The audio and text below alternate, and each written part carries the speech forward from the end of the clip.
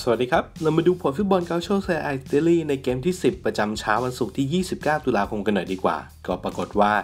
นาโปลีเปิดบ้านถล่มโบโลญญาไป 3-0 จากการทำประตูของฟาเบียนรูอิซครับ แล้วก็อีก 2 ลูกมาจากลอเรนโซอินซินเย่ยิง 2 จุดโทษเข้าไปนะ พาทีมคว้า3แต้มไปได้ นั่นก็เลยทำให้ตารางคะแนนในตอนนี้ นาโปลีขยับขึ้นมานำเป็นจ่าฝูงร่วมกับทางเอซีมิลานครับหลังจากเก็บไป 28 คะแนนเหมือนกัน ส่วนทางโบโลญญาก็ร่วงไปอยู่อันดับที่ 12 ครับหลังจากที่มี 12 คะแนนเหมือนเดิม ไปต่อกันที่ดาวซัลโวล่าสุดก็ยังคงเป็นชิโรอิมโมบิเล่จากลาซิโอที่ยิงไป 8 ประตูเดี๋ยวส่งท้ายกันที่โปรแกรมนัดต่อไปเกมที่ 11 วันเสาร์ที่ 30 ตุลามีอตาลันตาเปิดบ้านเจอลาซิโอเวโรนาพบยูเวนตุสแล้วก็โตริโนจะเจอกับซามพ์โดเรีย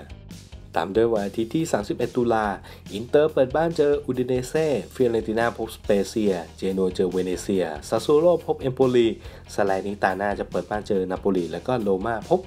เอซีมิลาน ก่อนที่คู่สุดท้ายเป็น Monday night ฮะ โบโลญญาก็จะเปิดบ้านเจอกับกายารี่